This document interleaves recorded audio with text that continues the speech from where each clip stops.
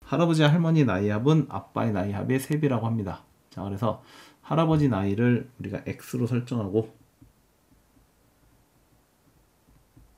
할머니를 y로 설정하고 아빠를 a로 설정하고 엄마를 b로 설정해 봅시다. 자, 그럼 할아버지 할머니 나이 합은 x 더하기 y는 어, 어 엄마 아빠의 나이 합의 3배 a 더하기 b의 3배입니다. 라고 할 수도 있겠죠. 엄마 아빠 나이가 두 살 차인데 엄마가 큰지 아빠가 큰지 알 수가 없어요. a 빼기 b는 2일 수도 있지만 a 빼기 b는 마이너스 1일 수 있어요. 그래서 경우를 두 가지로 한번 설정을 해볼게요.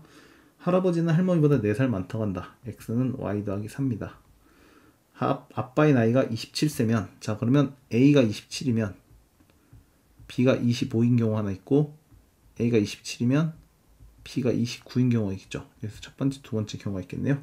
할머니의 나이가 될 수 있는 것을 구, 고르시오라고 했네요. 자, 얘부터 한번 생각해 봅시다.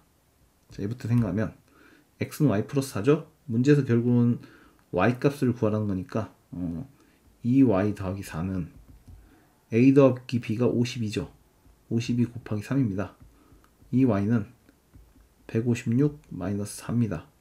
이 y는 150입니다. 그래서 y 값은 76입니다. 라고 하면 정답 4번이 있네요.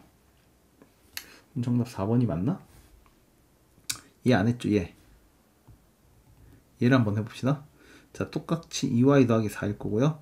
27하고 29를 더하면 56이네요. 56, 네, 56 곱하기 3.